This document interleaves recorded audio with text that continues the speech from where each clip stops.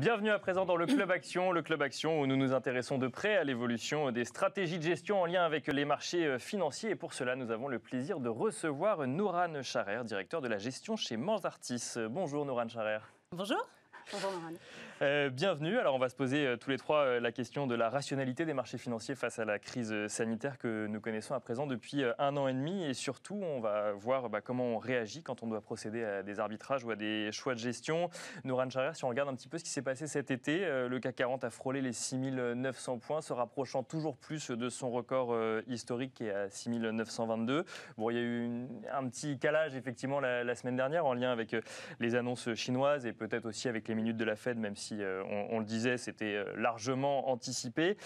Toujours est-il que les indices euh, continuent à progresser depuis le début de l'année, mais dans un contexte qui est toujours incertain en fait en, matière d'épidémie et notamment de variant Delta ou de mmh. reprise dans différentes régions du monde. Est-ce qu'on évolue dans une situation normale selon vous?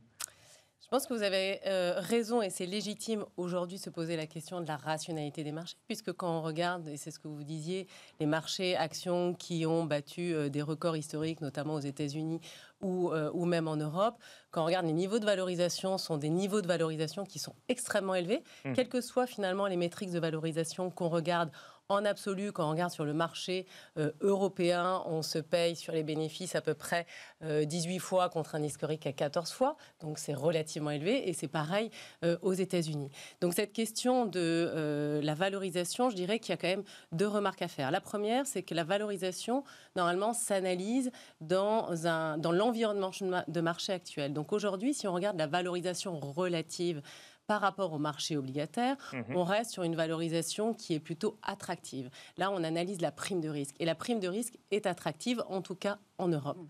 Donc ça, c'est la première chose.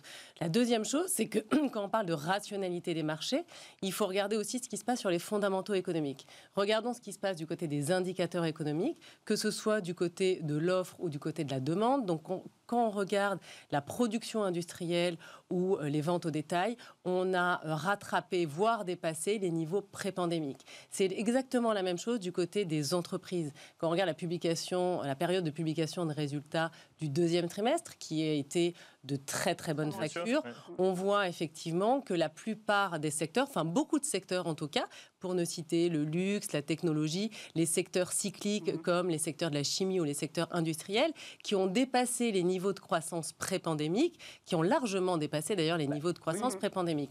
Donc finalement, tout va mieux qu'avant. En fait, les marchés ne euh, sont pas si irrationnels que ça, parce qu'il y a quelques d'ailleurs, il y a quelques secteurs qui n'ont pas boursièrement dépassé les niveaux de début 2020. Donc là, on va retrouver tous les secteurs qui sont encore perturbés par cet environnement et par ces, restrictions sanitaires. On va retrouver le voyage et loisirs, on va retrouver euh, les valeurs bancaires, les utilities, les télécoms, etc. C'est des secteurs qui ont pas, euh, qui affichent pas des niveaux de valorisation qui sont des niveaux de valorisation très forts. Donc la question de la rationalité des marchés, on est dans des marchés, je trouve, qui sont plutôt rationnels, euh, mais par contre, on peut être surpris par cette vigueur de la reprise, cette, par cette vigueur de la reprise économique dans, pas mal de, d'activités, de, de, domaines d'activité. Alors après, on n'est pas, on n'est pas dans un environnement et dans un, un environnement très complètement paisible. Non, parce qu'il y a des zones d'inquiétude, et vous l'avez dit. Il n'y a pas de lien entre, euh, la, euh, entre euh, crainte sanitaire et crainte économique. je regardais par exemple pour les, vous parliez des publications d'entreprises, 87% des entreprises du S&P 500 qui publient des résultats supérieurs aux attentes. Alors pour le premier, pour le premier trimestre, on pouvait se dire bon bah les attentes étaient suffisamment basses pour les dépasser. Pour le deuxième trimestre, on commence à se dire mais en fait c'est des entreprises qui vont presque mieux qu'avant la pandémie?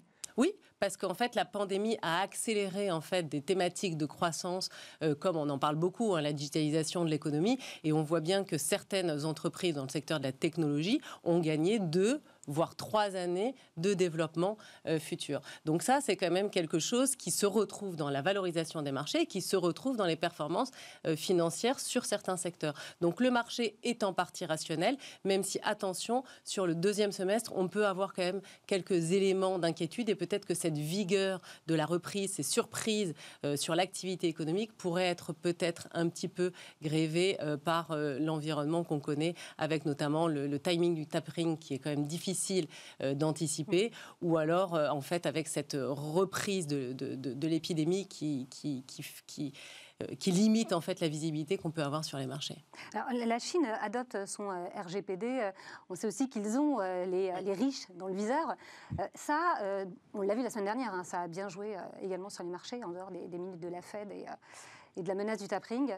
Oui, alors sur le marché chinois, vous avez raison. C'est vrai que le marché chinois, c'est un des rares marchés qui, depuis le début de l'année, affiche quand même une baisse de 15%, donc qui a été notamment accentuée euh, au mois de juillet pour, grâce, enfin, à cause de deux éléments, je dirais, ce tour de vis réglementaire dont vous parlez, et puis peut-être une normalisation euh, de l'activité économique qui est en plus un petit peu euh, grévée par euh, ces déséquilibres sur la chaîne d'approvisionnement qui vient en fait flouter un petit peu cette, euh, cette visibilité sur la croissance économique en Chine.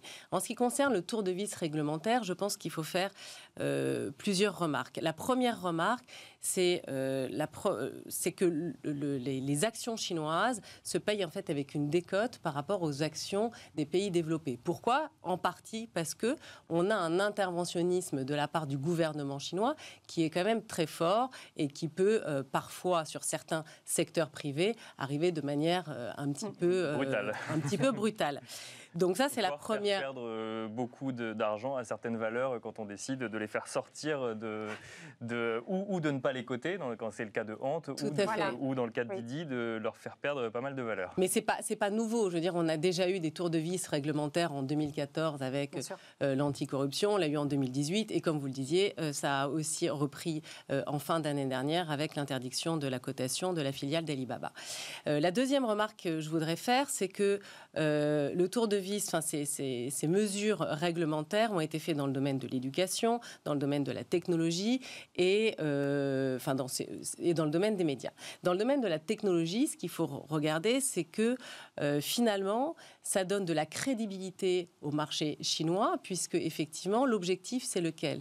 Il y a un double objectif. Le premier objectif, c'est lutter contre les monopoles le deuxième objectif, c'est la, protection euh, des données personnelles. Ces deux objectifs, ce sont des, objectifs qui sont menés dans les pays développés, que ce soit aux États-Unis ou en Europe. Ce n'est pas propre à la Chine. Donc on voit plutôt, on, vous l'avez mentionné, la RGPD, ça a été une règle qui a été mise en place en 2016.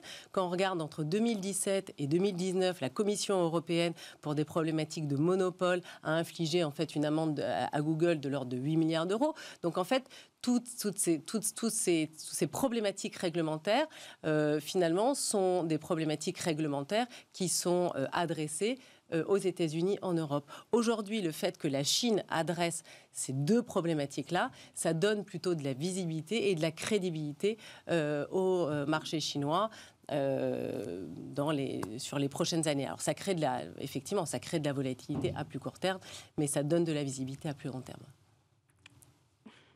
Ça donne de la visibilité à plus long terme. Bon, on pourra finir là-dessus. C'est vrai que c'est euh, quand même intéressant de remarquer que le, cette annonce en fait fait euh, bah, crée des craintes en fait sur les marchés européens, alors que finalement les Chinois ne font dans ce cas précis que ce que les Européens et les Américains essayent de faire, avec un peu plus de difficulté finalement parfois de réguler euh, Google, Facebook euh, ou, ou, Amazon. Bah là, les Chinois effectivement montrent que ils y arrivent avec un peu plus de facilité. C'est plus brutal effectivement, donc ça surprend un peu plus, mais finalement ils ne font rien de plus que ce que font déjà les, les, les régulations européennes. Les régulations. Alors après dans d'autres dans, domaines, dans le, dans le domaine de l'éducation c'est vrai que euh, la mesure peut être un peu surprenante, mais euh, je pense qu'elle rentre dans la volonté du gouvernement chinois d'améliorer en fait euh, la, fécondité, j'allais dire, en fait le taux de démographie, la démographie en Chine, parce qu'effectivement, quand ils ont abandonné la politique de l'enfant unique, on voit bien en fait que ça n'a pas repris et que en fait les Chinois n'ont pas n'ont pas amélioré en fait. Voilà. Pourquoi? Parce que effectivement, parce que l'éducation coûte cher. Mm. Donc c'est une manière pour le gouvernement chinois en fait d'améliorer peut-être la démocratie cette situation. cette situation Merci beaucoup euh, Nora Necharer d'avoir partagé avec nous euh, votre expertise du coup bah, sur cette euh, actualité financière et notamment des marchés actions. Nora Necharer, je rappelle que vous êtes directeur de la gestion chez Manzartis. Merci à vous également et on se retrouve tout de suite dans le Club Expert.